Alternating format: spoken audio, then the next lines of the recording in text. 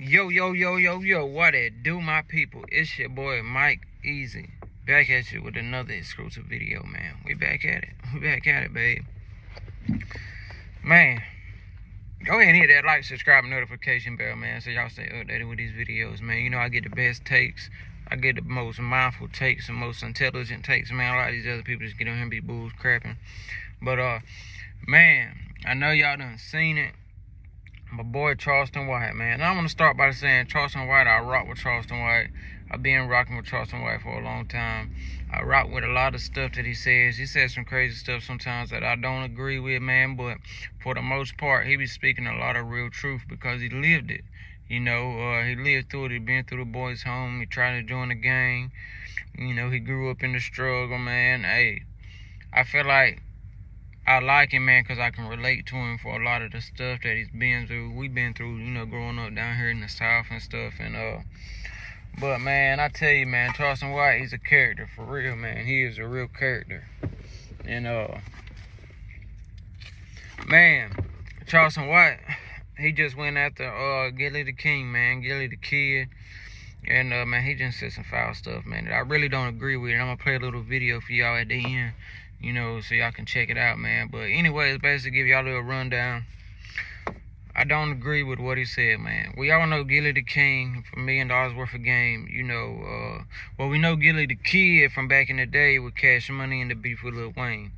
Gillie the King, you know, is his later stage in life. He's got the million dollars worth of game with his cousin Wallo, blah, blah, blah.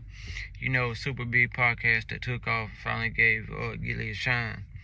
Well, Gillie's son was in the streets of Philly. You know, Gillie's from Philly. He ran in Philly. And I think he was in a little gang, man. Well, he ended up getting, I think, shot and killed last year. Um, he was a rapper in the Mac and Cheese group out of Philly. He had some, he had some dope songs, man. So, R.I.P. to him.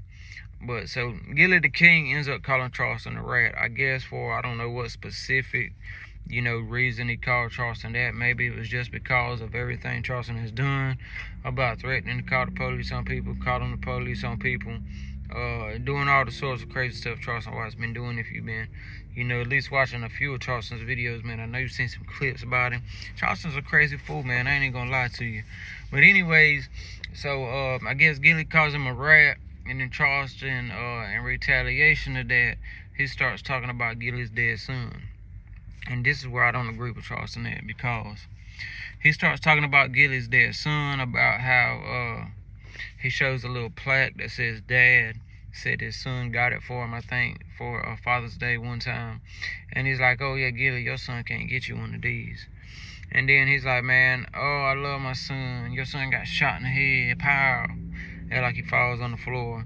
And he's like, oh, I'm going to call my son. And It's like, Gillie, you can't call your son you just got to like pray to Jesus, pray to the Lord, uh, to talk to your son. And uh, man, you know, for somebody that's lost somebody close to you, man, that's a real, that that's some real pain, man. You know, losing somebody close to you, man, is a real pain, and you never quite really get over it, man. You just learn to live with it. It's the best way I can explain it. Uh, it's just, man, it's, it's very it's, it's a touchy situation, man. And I, I think Charleston, he shouldn't have said that, man. And, you know, he never feels bad for what he says. That's one thing about him. He always sticks to his guns. But anyway, so he goes on to say, you know, uh, rest in peace. Act like he's pissing on the boy's grave, whatnot. And it's just, it's just foul, man. Because me, one, I believe in karma. I believe in good karma. I believe in bad karma. I believe you reap what you sow. Um, if you do certain things, it will come back and get you down the road. Me personally, myself, I've done things, and I maybe not would have believed in that stuff if it didn't happen to me. Like I said, I've done stuff in my life that maybe not, like I've done some stuff, right? And on down the line, that same stuff has happened to me. Multiple times, man, so I'm not just speaking out of my side of my neck. This is from experience. So, I do believe in karma. Now, what separates you from uh something happening like that to you your son just uh maybe they trying to take frustration out on you. Maybe it's some people that don't like you. Or maybe it's somebody that don't like you for what you said or what you done blah blah blah.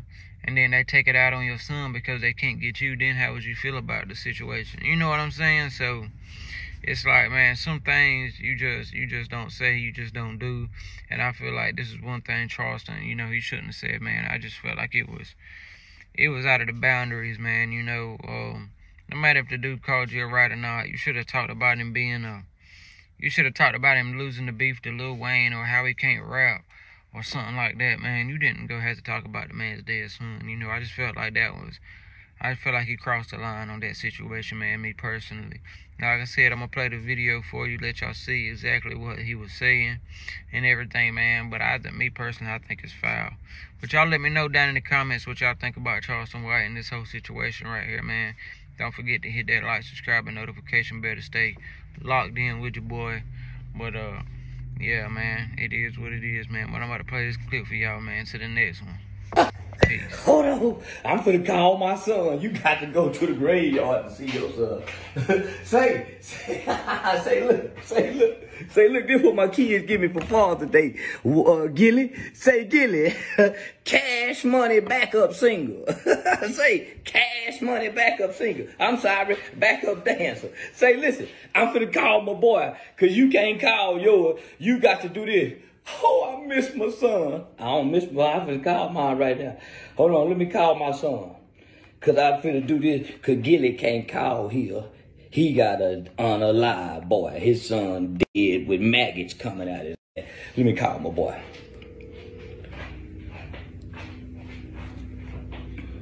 Call my goddamn son.